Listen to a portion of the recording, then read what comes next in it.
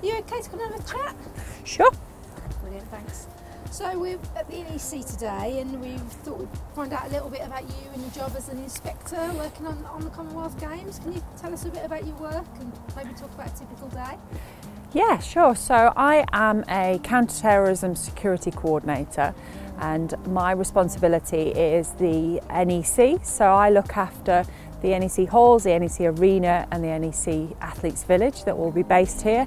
My responsibility is to make sure that there is an appropriate security plan all over um, those elements of uh, the activity that will take place here and to make sure that everybody that comes to the games has uh, a great time and are safe and secure. And what's the team like that you work with? It's a really broad team um, and there are about already about 50 police officers and police staff that work on the games planning team from West Midlands Police.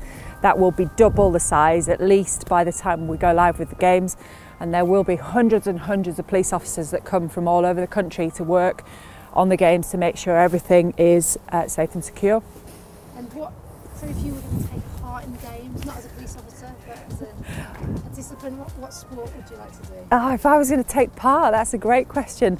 Um, so I'm rubbish at it, um, but it would have to be ping pong because I just got so much respect for how amazing those athletes are. I think it's so much fun and incredible to watch. And what are you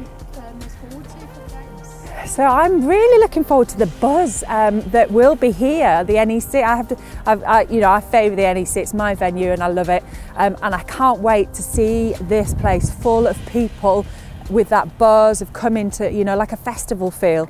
I think with COVID and 2020 and 2021's lockdowns, people are just going to be so looking forward to getting out and being together. And so, uh, last question, what do you think the games actually mean for Birmingham and, and the region? I think that's a really good point. This is a regional games. It's not just Birmingham, although Birmingham's a huge part of it. Um, we have Warwickshire, Staffordshire, Coventry and Solihull and the whole region's involved. And actually uh, down in London we have the Velodrome um, down there. So I think that kind of broader buzz is what we get from Birmingham 2022. Any chance of any tickets? You have to pay for your own tickets, but it will be a great gig to come and watch. Okay, cheers.